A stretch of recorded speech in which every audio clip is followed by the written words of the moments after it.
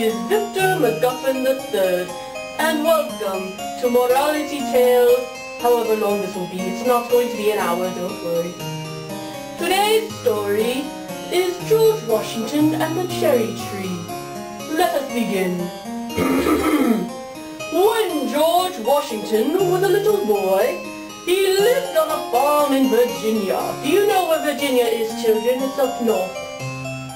His father taught him to ride horses, and he used to take young, young George about the farm with him so that his son might learn how to take care of the fields and the horses and the cattle when he grew older. Mr. Washington had planted an orchard of fine fruit trees. There were apple trees, peach trees, pear trees, plum trees, and cherry trees. Once a particularly fine cherry tree was sent to him from across the ocean. Mr. Washington planted it at the edge of the orchard. He told everyone on the farm to watch it carefully to see that it was not broken or hurt in any way. Excuse me.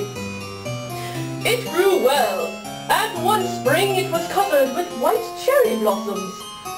Mr. Washington was pleased to think that soon he would have little cherries on the little tree. Delicious little cherries. Do you like cherries? I like cherries. Just about this time, George was given a shiny new hatchet. It's sort of like a miniature axe. George took it and went about chopping sticks, hacking into the rails of fences, and cutting whatever else he passed. At last he came to the edge of the orchard and thinking only of how well his hatchet could cut, he chopped into the little cherry tree. The bark was soft, and it cut so easily that George chopped the tree right down and then went on with his play. That evening, when Mr. Washington came from inspecting the farm, he sent his horse to the stable along with you, little pony, and walked down to the orchard to look at his cherry tree.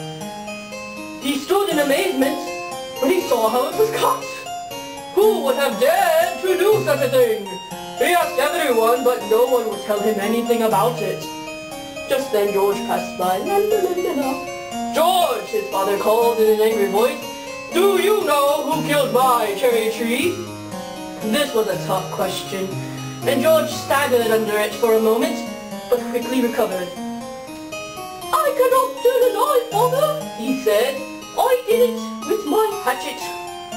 Mr. Washington looked at George. The boy's face was white, but he looked straight into his father's eyes. Go into the house, son, said Mr. Washington sternly. George went into the library and waited for his father. He was very unhappy and very much ashamed. He knew that he had been foolish and thoughtless, and that his father was right to be displeased. Soon Mr. Washington came into the room. Come here, my boy, he said. George went over to his father. Mr. Washington looked at him long and steadily. Tell me, son, why did you cut the tree? I was playing and I did not think, George stammered. And now the tree will die. We shall never have any cherries from it. But worse than that, you have failed to take care of the tree when I asked you to.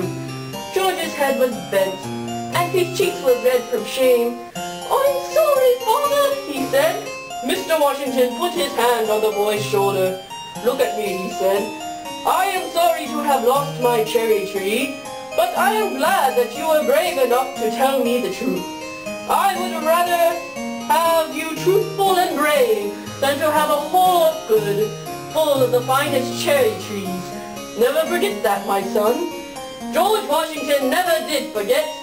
To the end of his life, he was just as brave and honorable as he was that day as a little boy. The end. My, wasn't that wonderful? And now, I'm going to make sure you are listening to my important story. All right, children? How did George Washington demonstrate honesty?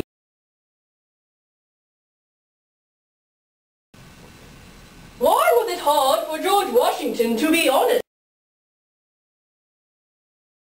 Did George's father reward him for his honesty? And now that concludes today's Morality Tale Theatre Hour, whatever it was called. Have a wonderful day, and remember, reading is fun for everyone, and it makes you smarter too. Goodbye.